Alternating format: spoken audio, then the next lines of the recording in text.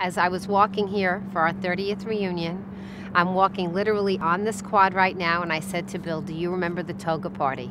I dressed up in a toga.